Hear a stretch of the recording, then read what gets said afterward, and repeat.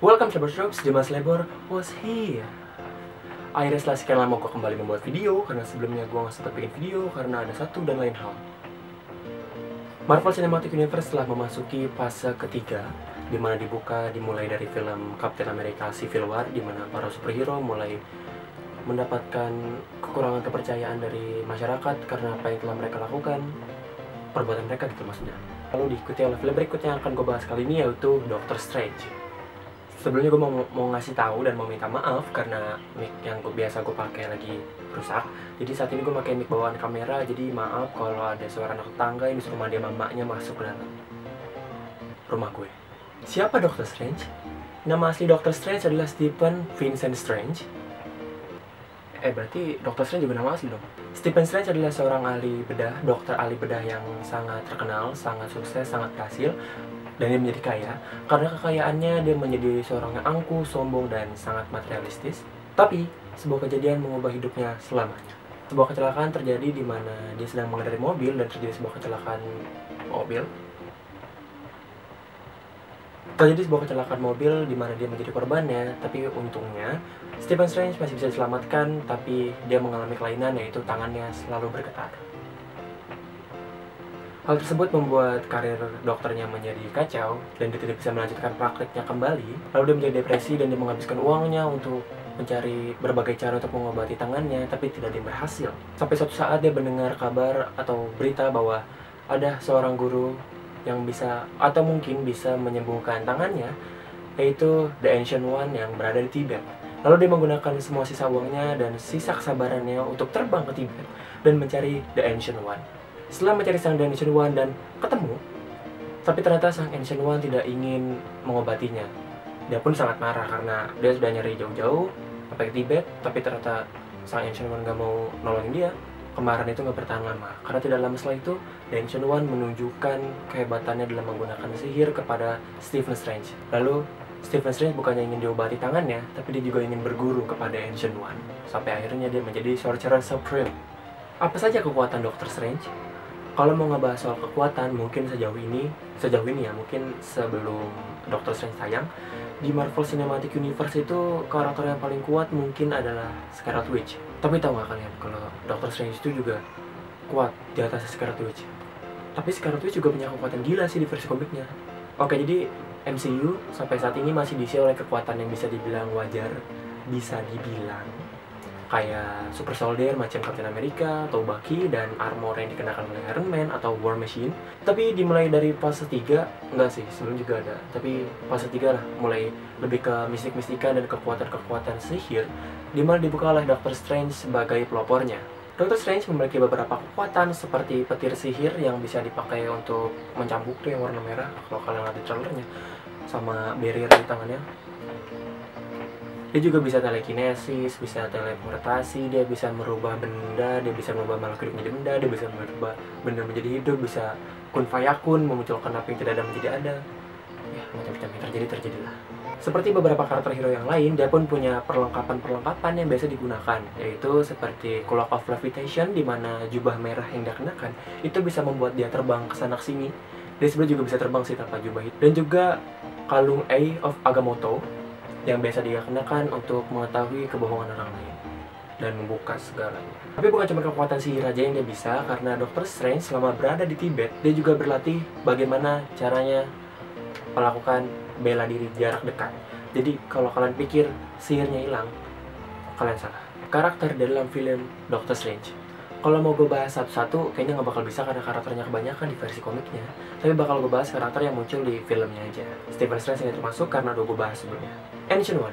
Ancient One adalah guru atau mentor dari Doctor Strange yang diperankan oleh Tilda Swinton.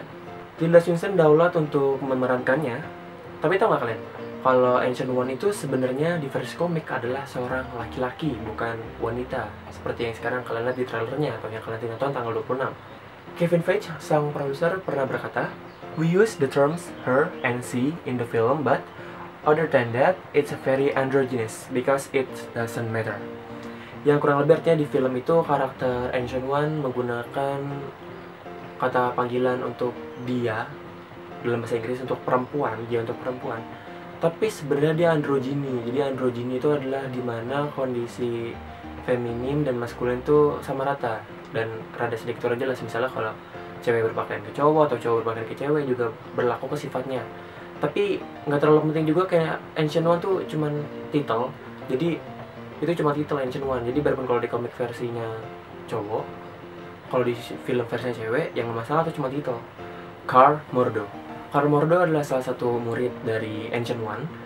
Dia sebenarnya adalah villain atau penjahat. Jadi keinginannya untuk menjadi Sorcerer Supreme itu sangat kuat akhirnya dia mengambil jalur villain tapi kalau di versi filmnya sedikit berbeda ya karena kalau kalian nonton trailernya itu Car Mordo diperlihatkan seperti sedang membantu Doctor Strange dalam melawan musuh-musuhnya. Mungkin nggak sepenuhnya villain atau belum. Diperankan oleh Chiwetel Ejiofor. Oleh Ejiofor ini sebenarnya sedikit berbeda dengan versi komiknya. Jadi kalau di versi komik itu sebenarnya Karmordo atau Baron Mordo yang terjadi nama jahatnya adalah Baron Mordo itu bukanlah pria berkulit hitam tapi berkulit putih. Jadi gue cukup salut karena Marvel berani melakukan banyak perubahan di versi filmnya karena ya film biarlah menjadi film dan komik memiliki universe sendiri. Wong. Wong adalah karakter yang menjadi guru bela diri sekaligus asisten dari Doctor Strange. Jadi Sorcerer Supreme itu semacam punya asisten pribadi dan asisten itu turun temurun. Jadi keluarga Wong itu dari awal sampai Wong itu selalu melayani Sorcerer Supreme dan Wong mendapatkan Sorcerer Supreme adalah Doctor Strange. Dan Wong versi film diperankan oleh Benedict Wong. Cassius di dalam komik Caecilius adalah murid dari Baron Mordo. Baron Mordo itu Mordo yang tadi gue bahas sebelumnya. Tapi belum banyak yang bisa dijelasin dari versi filmnya karena kemunculan di trailer juga masih belum banyak. Tapi yang pasti Caecilius diperankan oleh Matt Mikkelsen dan akan menjadi villain utama di versi filmnya. Jadi Doctor Strange itu sebenarnya bukan berada di dunia yang lain sih, tapi lebih kayak dunia yang lain. Karena kalau dibandingkan dengan MCU sebelumnya, di mana lawan mereka masih robot, masih manusia dengan kekuatan super wajar macam ya dari serum atau dari apa gitu kan tapi dokter saya itu musuhnya beda dia tuh musuhnya bener-bener ngelawan iblis setan gitu dengan dimensi yang berbeda deh. Sebenernya gue cukup salut dengan Marvel Cinematic Universe atau Marvel Studio karena mereka berani menayangkan karakter yang sebenarnya nggak terlalu dikenal, dikenal bukan nggak terlalu terkenal ya. Maksud gue gini, kalau Doctor Strange itu sebenarnya cukup terkenal. Dulu juga animasinya pernah ada di salah satu TV swasta di Indonesia animasi movie-nya ya kalau nggak salah ya. Tapi itu belum hal yang umum Doctor Strange gitu. Mungkin bagi sebagian orang Doctor Strange itu awam dibanding Spider-Man atau Iron Man atau tapi dia cukup berani dan sepertinya bakal digarap dengan baik dan gue bakal menunggu menunggu menunggu menunggu menunggu menunggu menunggu tanggal 26 Oktober di mana film Doctor Strange yang diperankan oleh Benedict Cumber Benedict Cumber Cum, Benedict Cumberbatch oleh Benedict oleh Sherlock Holmes akan tayang tanggal 26 Oktober di seluruh Indonesia. Jadi jangan lupa nonton premiernya hari Rabu tanggal 26. Seperti biasa kalau kalian ingin karakter komik favorit kalian dibahas oleh gue, silahkan tulis nama karakter komik favorit kalian di bagian komentar dan nanti bakal gue jadiin pembahasan di Hero Insight kalau gue sempet. Oke, thanks for watching. Jadi buat Cyber Troops, maaf karena gue udah lama nggak upload video nggak ada nyariin juga sih tapi tetap aja gue minta maaf video Dr. Strange kali ini sebagai pembuka video-video gue berikutnya karena sepertinya gue bakal mulai rajin lagi ngupload video. Kalau gue nggak malas jadi gue rajin kalau gue nggak malas baik terima kasih selamat strip jangan lupa klik like share dan subscribe kalau kalian suka dengan video gue.